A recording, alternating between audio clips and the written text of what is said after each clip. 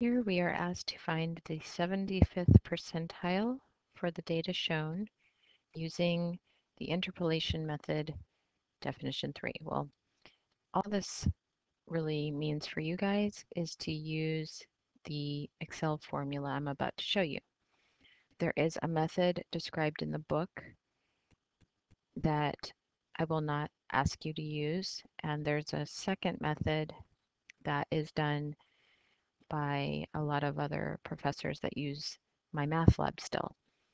So we're going to avoid both of those this time around to avoid some confusion. And we're just going to have you calculate it using the built-in Excel function.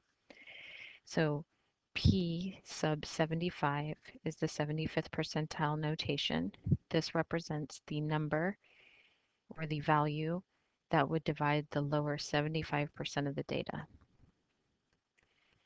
So we're going to use the Excel function. So you can see I've put in my equal sign. Then I'm going to put in, start typing in percentile. And you see the top one that's uh, recommended here, percentile dot exc. Double click that. It wants an array and then it wants the k and the k is the 75 as a decimal. So 75% as a decimal is 0.75. So we're going to select the array of data, comma, 0.75. And let's see if we get it this time. I tried using the book method and it did not work for this question.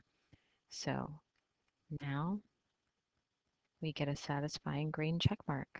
Yay!